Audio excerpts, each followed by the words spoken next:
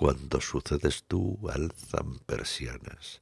Sucedes en la noche y la ventana se perla con estrellas displicentes cantando en su nocturna nana.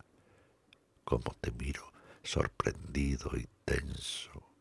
Sucede en la mañana un nirvana, una lenta explosión de palomares, un descender al mundo desde el lecho por claros toboganes luminosos, abriéndose las bocas de las nubes. Sucede que tu andar es paralelo al ambulante curso de los ríos. Sucede que tu boca tiene vaos que te tienden al fresco los suspiros. Sucede que el camino se hace recto, piramidal, en punta, circunflejo, con el punto de fuga donde juntas los dos melocotones de tu seno.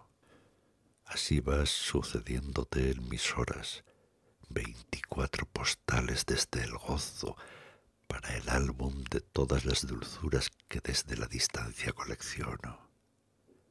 Sucede que aterriza el mediodía comiéndose las sombras de la plaza y un tendido de sol sobre tu escote vuelve redondas todas las miradas y das calor como los niños chicos, como gato dormido en una falda, ese calor que cuece las espigas y al amor de su lumbre las levanta, que no rompe las rocas, que no quema, tiene menos de fuego y más de agua de los prados lentísima y templada.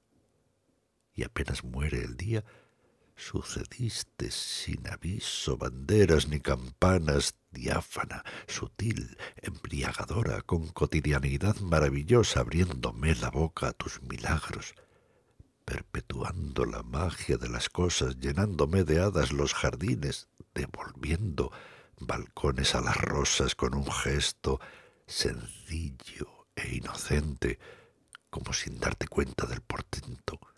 Vienes a suceder sobre la vida con la varita mágica del tiempo, abrevando en el surco las raíces, sosteniendo las aves en el cielo. Tú que pintas las mieses de amarillo, tú que me abres los ojos al consuelo.